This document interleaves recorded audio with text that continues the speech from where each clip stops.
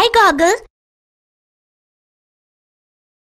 Look, Toggle, I have got an invitation from the City Science Club for a discussion on supercomputers. That's great, Goggle. But why do you look so worried? Well, to be honest, I don't know anything about supercomputers. don't worry, Goggle. I will help you. Thanks, Toggle. You always are a great help. Well, Goggle, supercomputers are actually the fifth generation computers. They are very powerful and have very large storage capacity. Sounds great. And that's not all, Goggle. Supercomputers run on very high speed and can also perform very complex operations that you will not be able to carry out in your computer. So that's why they are called supercomputers. But why are they called the fifth generation computers? well, Goggle, computers have a long history of evolution. It was not made by one person in a single day. Just like we humans, right? yes, Goggle, just like humans, this computer on your desk has also seen many stages of evolution before ending up on your table as a smart machine. This is getting quite interesting. Toggle, can you tell me more about the evolution of modern computers? Sure, Goggle. Here we go. To know about the evolution of the modern computer, we have to start from the first generation computers. The first generation computers were very large in size. They had very small internal storage and were very expensive. These computers used vacuum tubes. I wonder what the first generation computers looked like. Well, they were huge. As an example, let us take the Mark I. Mark I was one of the first generation computers designed by Howard H. Aiken in 1944. It was about 15 meters long and the wires connecting the various parts were about 800 kilometers long. What? A 15 meter long computer that required 800 kilometers of wires. How can one keep it at home? These first generation computers were never meant for homes. They were kept in laboratories specially made for them. Oh, a lab to keep only one computer. It must have been a very efficient computer, right Toggle? Well, no, Goggle. On the contrary, the Mark I was slow and took 3 to 5 seconds to perform a single calculation. Then what was so special about it? Why keep such a slow machine in a laboratory? Because it was the first fully automatic calculator. There was no other calculating machine smarter than the Mark I at that time. Oh, now I understand. Now, the limitations of first generation computers were First, they operated very slowly. Second, they had very high power consumption. Third, they required very large space.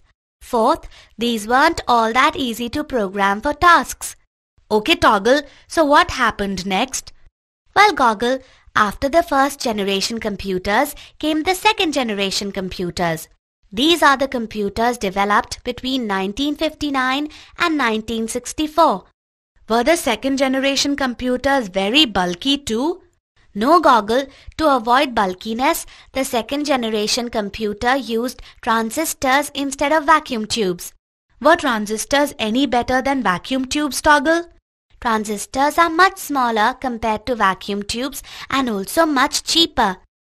This means the second generation computers were smaller, faster, cheaper and more efficient than the first generation computers.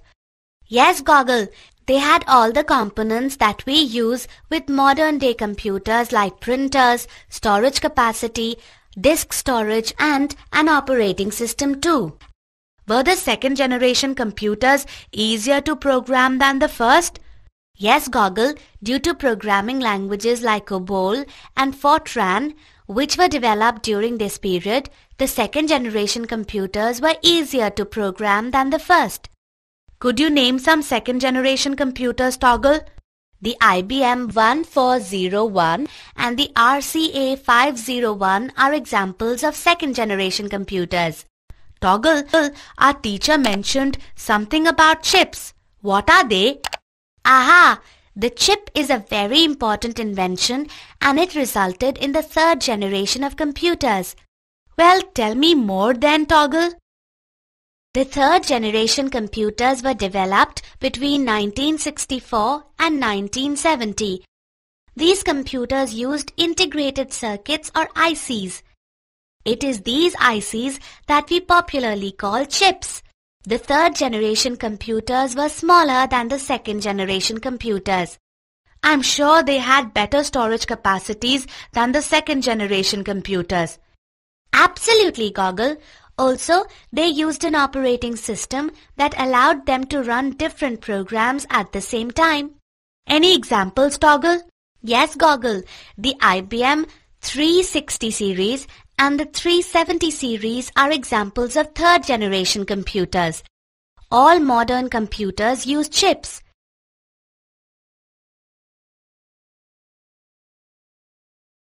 Toggle, I guess then my computer too uses chips. Yes, Goggle, but these chips are definitely different from the ones used in the third generation computers. Why is that, Toggle? Because yours is a fourth generation computer. Well then, do tell me how third generation computers evolved into fourth generation computers. Sure, Goggle. The fourth generation computers are the ones that have been developed from 1971 till the present time. So, how are they different from third generation computers? The fourth generation computers use microprocessors. Microprocessors, Toggle? Microprocessors are a type of very large-scale integrated circuits. These integrated circuits contain all the components of a CPU on a tiny single chip. On one small chip, this would have definitely made computers much smaller in size, right Toggle? Absolutely, Goggle. That's why my computer is so small in size compared to third generation computers. yes, Goggle. Not only is your computer smaller, it is also faster than any third generation computer as your computer has microprocessors. Any examples of fourth generation computers, Toggle? The IBM PC and the Apple Macintosh are the early fourth generation computers. They have evolved into the modern, sleek desktops and laptops we see today. Okay, got that, Toggle. You see, Goggle, in the evolution of fourth generation computers, the major focus had been on reducing size and improving efficiency. Yes, and this resulted in smaller yet faster computers. So now can you suggest how modern computers can be made even better? Yes, Toggle, that's what I was thinking. Modern computers can be made better if they have higher storage capacity, higher speed and also the ability to do more complex operations. Bingo! That is what the fifth generation computers or the supercomputers are all about. The fifth generation computers are also known as supercomputers. Their development started in 1989 and is still under progress.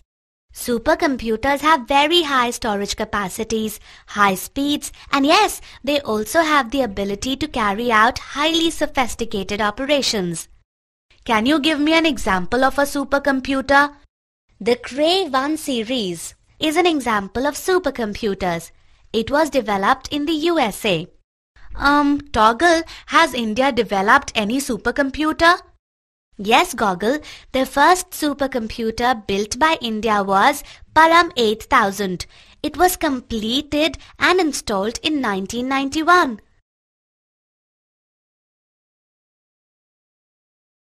Well, Toggle, even after so much information on computers, I still do not know why this invitation card says the new thinking supercomputers. What does thinking computers mean? Well, Goggle, a computer is a machine. It cannot have any thinking capability and so cannot take decisions on its own. We have to tell it what to do at every step. I know that, Toggle. In recent years, scientists are trying to make computers that can think like we do and can take decisions. But how can anybody make a computer think? Goggle, there is a branch of computer science called artificial intelligence or AI. Artificial intelligence? I know of a movie by that name. I didn't know computers can be made to have art artificial intelligence.